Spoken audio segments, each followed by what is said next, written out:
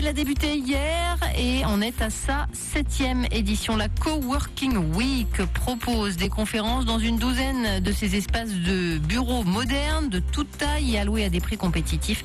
Illustration à Marseille avec Guillaume Pellegrin, fondateur d'I Love It. Ce sont nos coworkers qui viennent euh, donc transmettre leur passion, transmettre leur savoir euh, pour le bénéfice des autres coworkers déjà, ou alors euh, pour tous ceux qui veulent venir écouter ces conférences-là.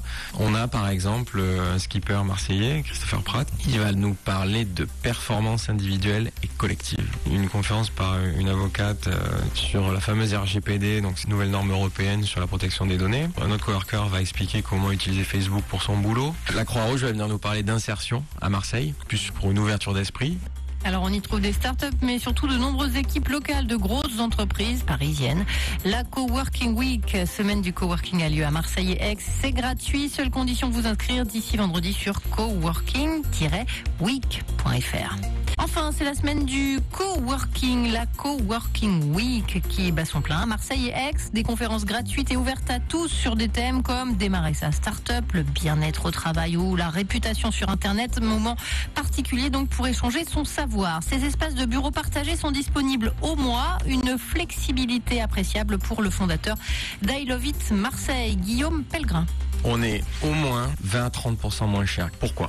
Vous ne louez que ce qui vous est utile immédiatement. Si on grossit, on va pouvoir grossir au mois le mois et ne pas payer en anticipation des mètres carrés inutiles. La cuisine euh, est très sympa ici et, beaucoup plus grande que si vous le faisiez vous tout seul dans vos petits bureaux. Et puis euh, la petite salle de réunion que vous allez faire aussi dans, le cadre de votre bail commercial, bah ici c'est plutôt cinq salles de réunion, euh, des petites, des grandes, des créatives, des classiques, et vous pouvez comme ça utiliser uniquement ce qui vous sert.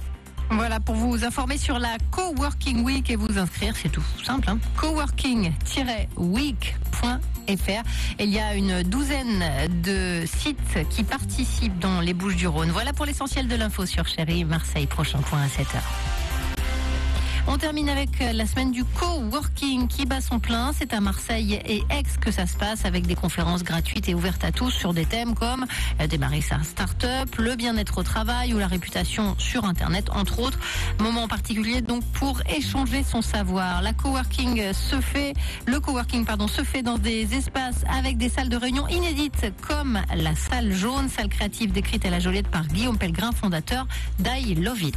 Là, il n'y a pas de table, il y a des poufs pour aller euh, vous installer où vous voulez faire bouger tout au long de la journée de vos réunions. On a des gradins également. Et puis euh, le pan de mur qu'on voit là-bas, c'est un immense tableau sur lequel on peut écrire. Euh, de l'autre côté, on peut projeter une présentation et, derrière moi, on peut coller sur ce grand mur blanc à peu près tous les post-it qu'on veut. Ça permet en fait de faire des sessions brainstorm et de pas avoir d'un côté le sachant et ceux qui écoutent pour créer de la communion, souder des équipes. C'est assez recherché. Voilà, parmi les services proposés par I Love It, en plus de la location de bureau, lavage de voiture, salle de sport, massage ou soins esthétiques. En tout cas, pour vous informer sur toutes les animations de la Coworking Week et euh, donc euh, toutes les conférences gratuites coworking-week.fr, il faut s'inscrire.